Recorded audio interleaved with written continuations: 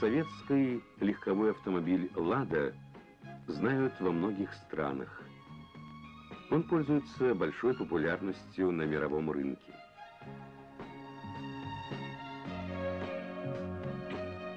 Это буквы, напоминающие старинную волжскую ладью, символ крупнейшего в Европе гиганта автомобилестроения. Ежедневно с конвейеров Волжского автозавода сходит более двух тысяч автомобилей. Их массовое производство организовано здесь на самом высоком техническом уровне.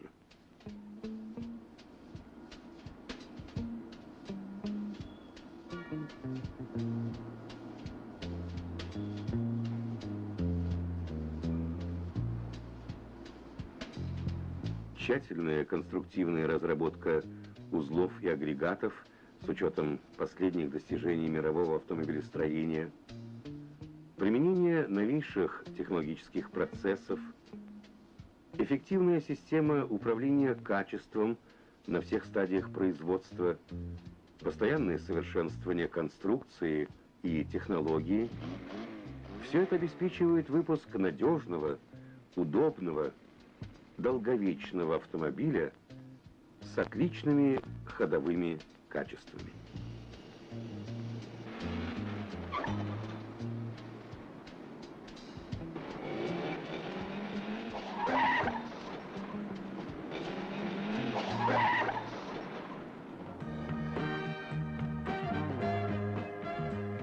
На заводе имеется свой испытательный трек, где новорожденные «Жигули» делают свои первые шаги.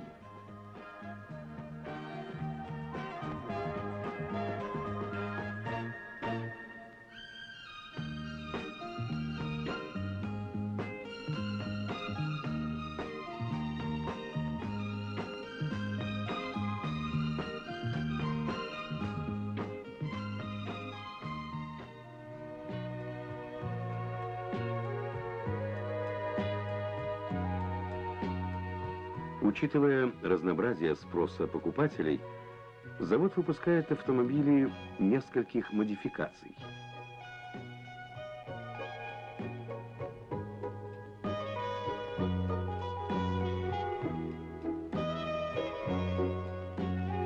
Модель 2101.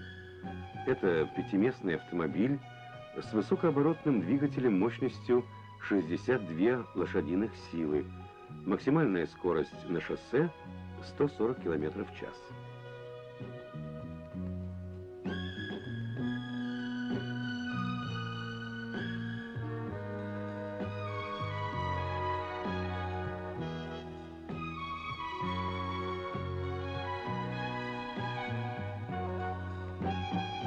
Модель 2103. Мощность двигателя 77 лошадиных сил. Он отличается повышенной комфортабельностью, более высокими динамическими качествами, максимальная скорость 150 км в час.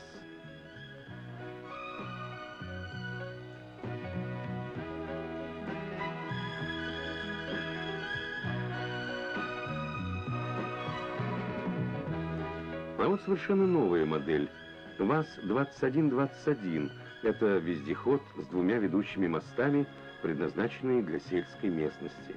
В его салоне также комфортабельно, просторно, удобно.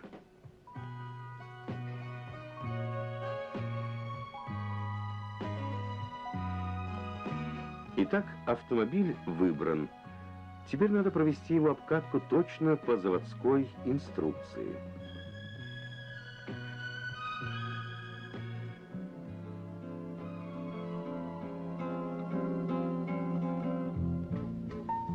Сказать, что конструкция и качество изготовления автомобиля позволяют вести обкатку без особых предосторожностей. И все же желательно придерживаться следующих правил.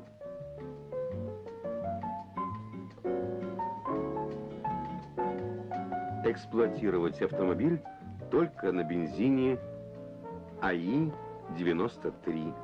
При работе на низкооктановом топливе – двигатель очень быстро выйдет из строя.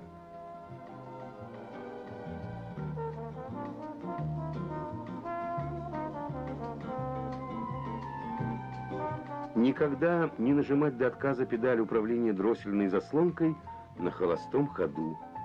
Не допускать больших оборотов двигателя при езде на низших передачах.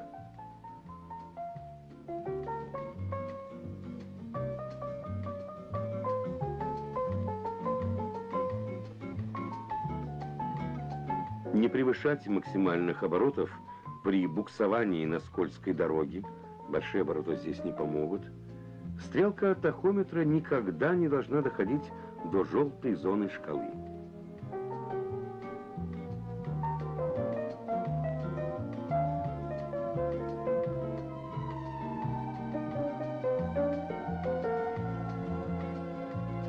И еще не перегружать двигатель. Надо своевременно переходить на низшие передачи.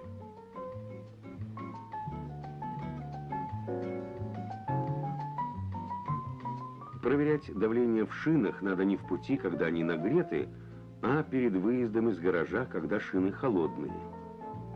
В первые полторы-две тысячи километров пробега идет интенсивная приработка деталей и узлов автомобиля. Обкатка способствует его надежности и долговечности.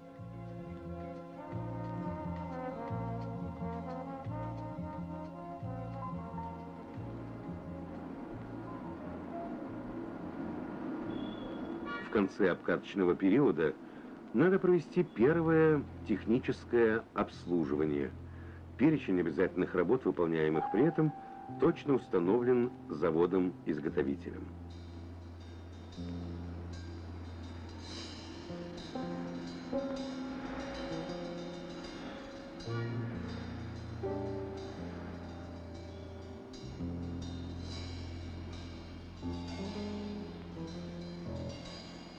При техническом обслуживании после пробега 4-5 тысяч километров.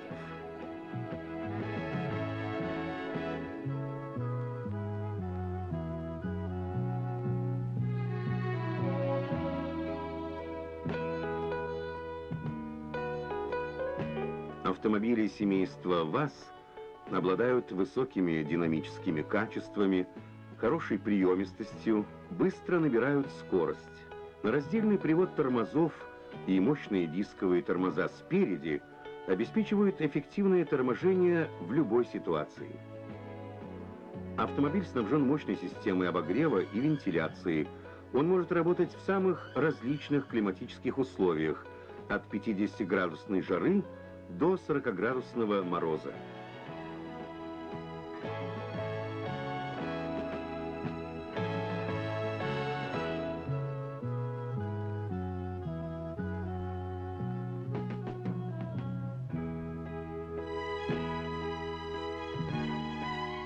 А какой просторный, удобный багажник. Это тоже одно из преимуществ автомобилей Волжского автозавода. Мягкая пружинная подвеска хорошо поглощает удары и колебания, создает приятное ощущение при езде.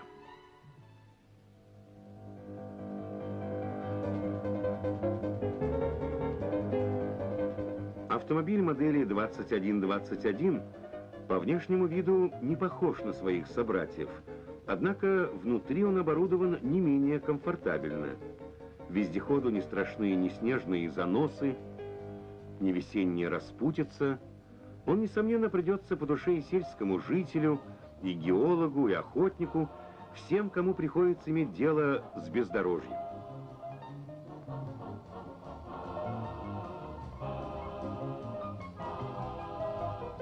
Видите, что такое вездеход? Незаменимая машина.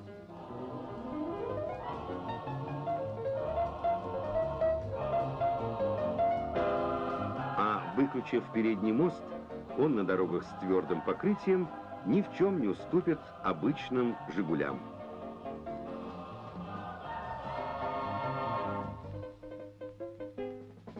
И еще важные достоинства автомобилей ВАЗ – это простота ухода, нет точек смазки, в радиаторе незамерзающая жидкость, большой пробег между техническими обслуживаниями, 10 тысяч километров.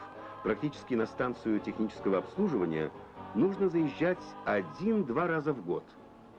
Но уж когда наступает время очередного обслуживания, его надо выполнять квалифицированно и в полном объеме. Только тогда автомобиль будет служить надежно и долго. При всех последующих техобслуживаниях приемы правильного выполнения регулировочных и других наиболее важных работ. При грамотном и своевременном выполнении всех рекомендаций завода-изготовителя по ремонту и техническому обслуживанию завод гарантирует долгую и надежную работу автомобиля. Счастливого пути!